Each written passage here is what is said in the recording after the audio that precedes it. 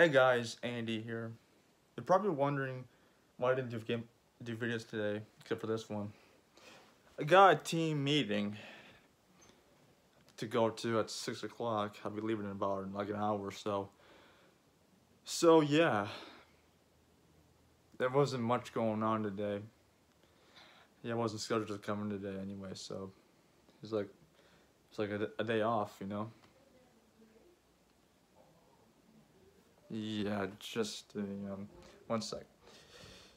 Anyway, I didn't do much today apart from me getting cleaned up and my beard is grown right now.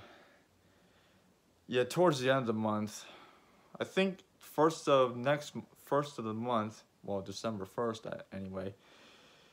I'll be uh, shaving off my beard and my mustache. Besides, no no shave November, so I think I won that challenge real quick. And on a side note, happy birthday to my favorite car driver of all time, Chase Elliott. Happy, happy birthday, buddy.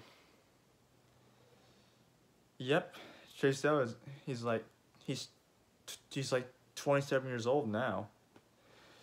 I think he was like born like 45 years after his dad was born, Bill Elliott. Happy birthday to Chase Elliott and that number nine Chevy.